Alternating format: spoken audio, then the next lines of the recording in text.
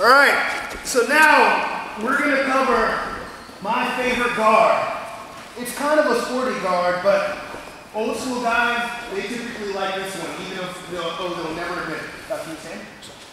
So I'm here, and Josh tries to grab my hand, just like he should. Now, if he grab, if he's grabbing my leg, that means I can grab him. So from this position right here, I'm going to control his collar, and I'm going to control his sleeve, and I'm going to extend my leg as far back as I can. See? My leg, uh, my leg is completely straight, and I'm pulling his sleeve, pulling his collar, and he's in a really bad position. Now, you see how he's controlling my sleeve right here? It's not a big deal for me, but if I want to break it, I can go over and step, or he can grab again, and I can go under and step. And then I can go immediately for the omoplata. Control, control, and stretch. One more time. We're gonna start off. My feet are on his hips, he grabs me. I control his sleeve, I control his collar.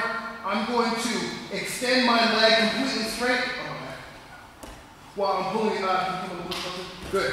While I'm pulling, breaking his posture, come over, break, turn, and then just like before, my arm is going to punch a little bit that way, that way to create a bend for the omoplata. I turn, turn, turn, come up, switch, uh, hand off his elbow, control his hip, and then, and then uh, cr crush his shoulder. Last one. My feet are on his hips. Josh grab, grab the inside, sleeve, collar, extend, leg comes over, break, and then shoot the omoplata.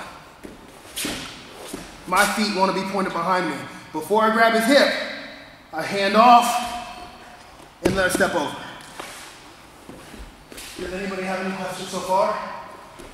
Okay, so good guy, start with feet on the hips. Bad guy, grab, grab the inside of his, uh, grab the inside of his pants.